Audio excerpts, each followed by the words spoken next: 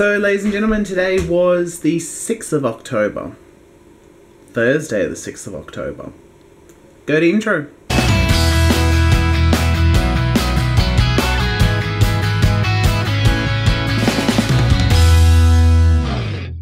So, ladies and gentlemen, I'm getting ready to go to bed. Super excited for sleep right about now. It is um, nine-ish? Nine-ish. Five past nine. Three past nine. Almost four past nine.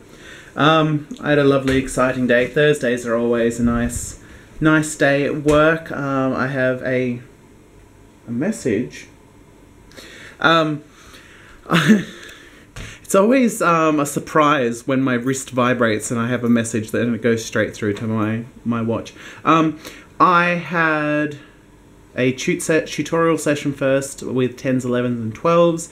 Then I had 9, 10 drama, and then I had year 8 drama.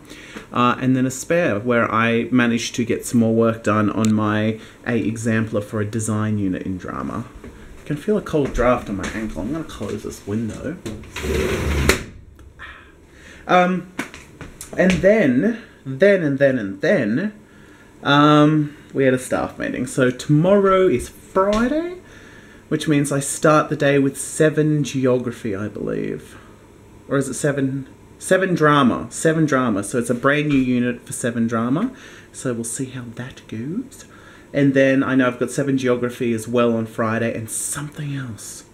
What is it? Year 8 drama I finish with. So two dramas and a geography. So huzzah! There's stuff on my camera. I know it's just a scratch. Um, I will love you and leave you. and I'll see you tomorrow for uh, Friday, the end of week one. One down, nine to go, and then a Byron trip. So I will see you lovely people of the internet tomorrow. Peace. I hope you enjoyed your day.